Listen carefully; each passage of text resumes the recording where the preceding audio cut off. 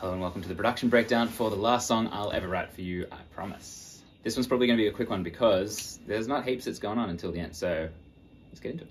This song's a little different to all the other ones that I've done as I only wrote it on guitar, which is super unusual for me, and it just started as like the most simple thing, just the song, and then all the production stuff came later. Normally I like to pull up sounds and, and do cool drums and whatever, but this one was a very, much more personal, much less silly song. So we started just with guitar. I wrote this on electric, but I retracked it on an acoustic because I thought that fit the vibe more. So, here's what we got.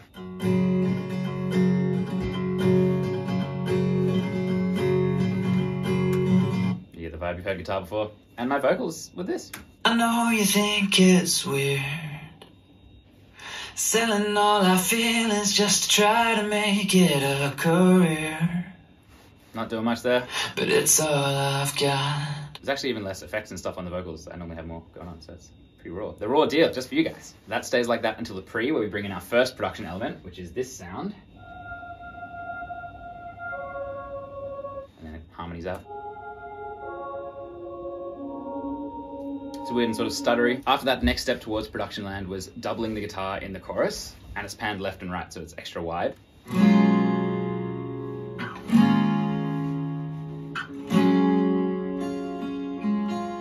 Start chugging.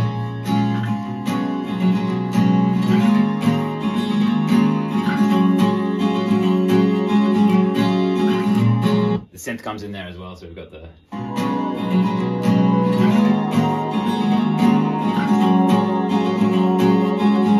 with a few little plucks that I added in doing this. And that just gets more strong with the vocals. Have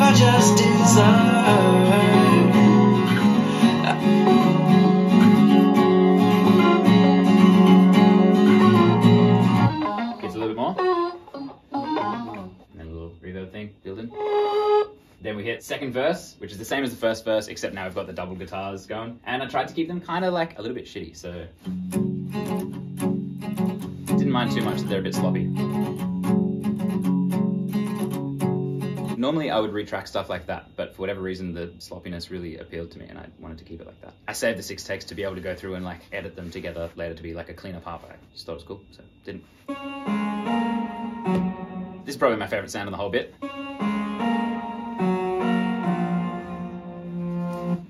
That's just a bit of synth and distortion, nothing crazy. Then this sort of drone comes in, and then on the other side. So it's like a little bit dissonant, but not too crazy. And then it cuts out.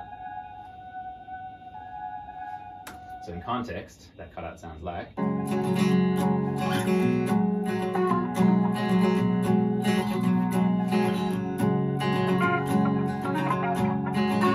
Actually, maybe this is my favorite bit of the whole thing. This guitar stuff.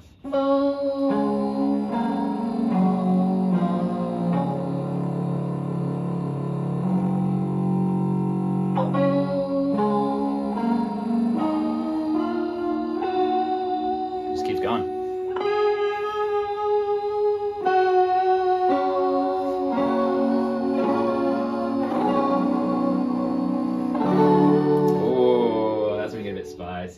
Sounds there, we've got the guitar.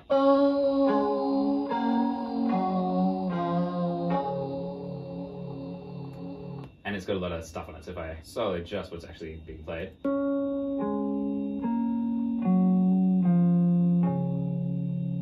And even though it's pretty, it felt uh, I felt it needed to be a bit more like a bit less pretty. A little bit of distortion from Radiator. Cassette making it sound a bit like we added RC20 to make it even a bit more vinyl I guess. Add that bit crush thing that's wobbling up here. My favorite thing is this chorus plugin though, it sounds like this. We have this big pause, then we get into production land, so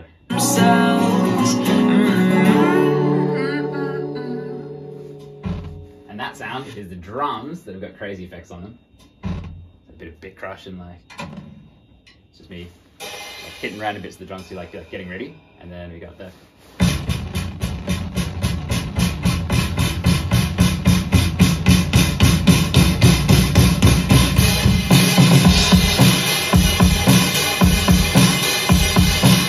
That's live drums, recorded them right there. You can't see them, but they're there. Got some bass with it as well, so it's doing similar stuff. Drums are actually really hard to mix. They don't sound good for a very long time. So if I turn off all the stuff, it sounds like this. dragão.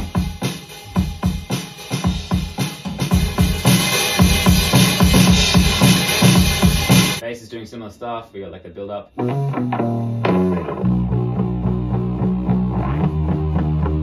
like almost Tame Impala, like phasery top end.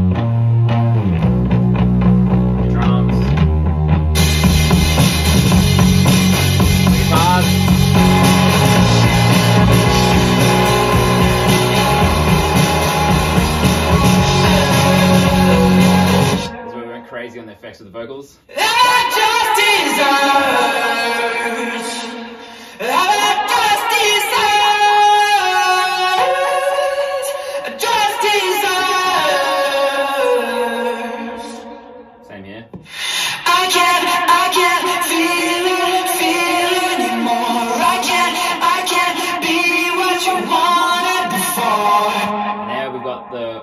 Same wide guitar thing that we did on the acoustics. Now it's on the regular guitars.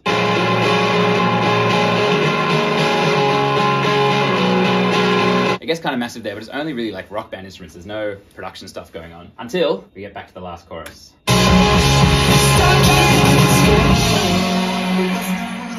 We've been here before. Back to back guitar.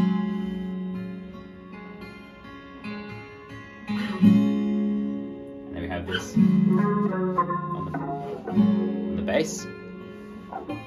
So then I bring in the very original guitar that I recorded, which is electric guitar, but playing the acoustic part from the start. Now that's happening here. So like slow moded in. We got those pluck things from before. And then I sort of messed around with a bunch of effects on that stuff to get these kind of like glitchy. Like,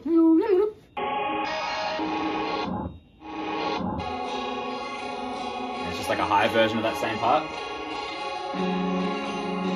Hands to different sides, different ears.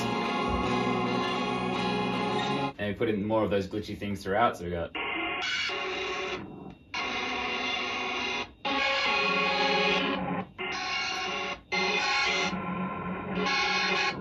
If we put all that stuff together at the end, we kind of get this kind of.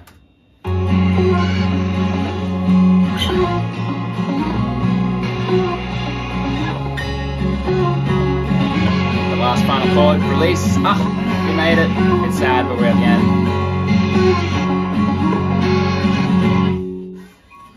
I always try and add in some extra sort of like live sounds uh, to make stuff feel more real. This is one of them. I, I didn't need to make that noise, but I just like sort of slid my hands along the strings and stuff. And that's the song. The closest you'll get to an acoustic ballad from Daphnie. For now, at least. Maybe we'll do it one day. we'll see. Anyway, thanks very much for watching. Hope you like the song. It's a very special one to me, um, and it means a lot that people are listening to it. So.